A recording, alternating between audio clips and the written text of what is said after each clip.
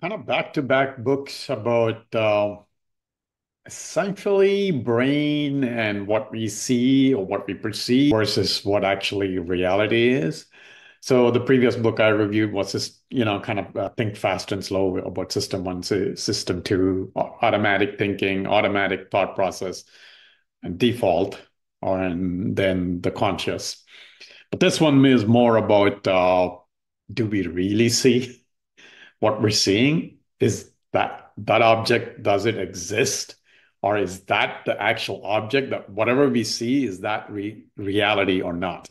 Donald Hoffman i've been listening to him several podcasts.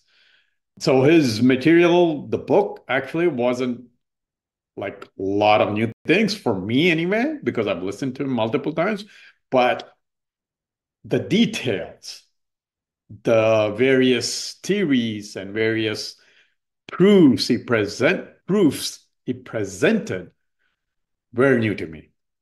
So it was great to read that book. So, for example, it kind of goes through in a simple way to kind of parallel to what, let's say, we see in computers to what reality is. For example, in computers, when you are editing a file or deleting a file or looking at a folder, you see icons, right? A folder icon is kind of like a blue thing, whatever, depending on the laptop computer you're seeing.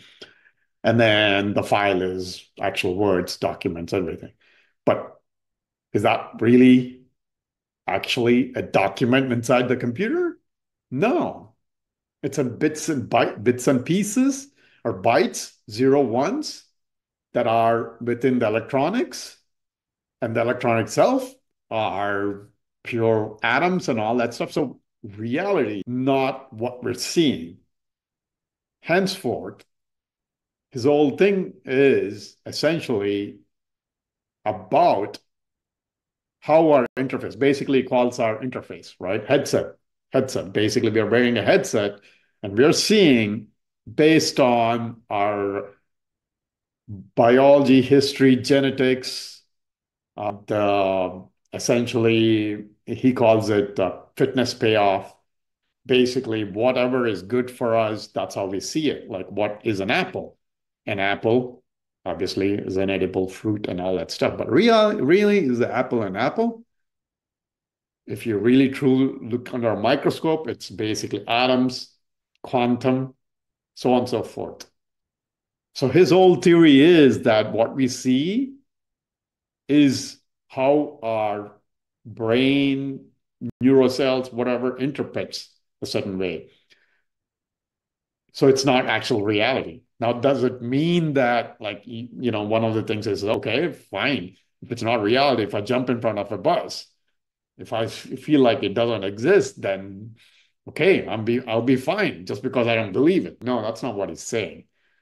He's saying, yes, an object that thing, whatever might exist, but that's not ex- exactly what, what it is, what you're seeing. It's more our interface creating essentially that object as it is, as we, you know, our genetics, whatever makes it feel like. So obviously, like, you know, maybe some animals, like a fly, might see the same thing differently, completely differently than what we see he goes into those examples, right? Like a beetle, I forgot what kind of beetle, but anyway, you know, Australian beetle evidently was mating with a beer bottle because it kind of was essentially looking like a female beetle, essentially, or the colors, whatever. So that's how it is, right? Rea- reality is for that's for the beetle right? Like what that object was. So they had to change the beer bottles, make sure that so that the beetles survived because they were dying because they were trying to mate on that and just you know dying.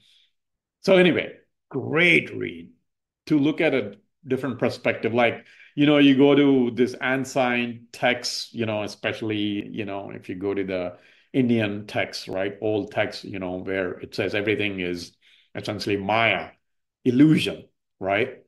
Which is basically, in other words, that's what you know Donald Hoffman is saying essentially that it's an illusion that reality is not exactly what we think it is.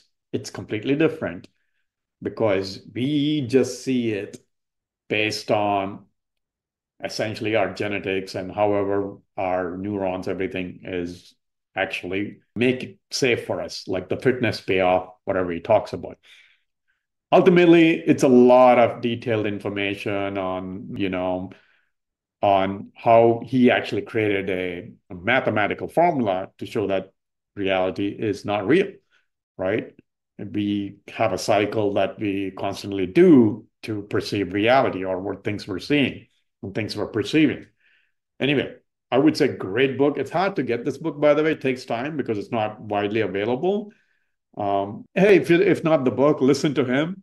I highly recommend listening to him to give you a different perspective, whether you're religious or not, uh, spiritual. But I think this kind of combines it, the old texts and all that stuff. Um, on how everything is based on what you believe is true, right? Essentially, kind of.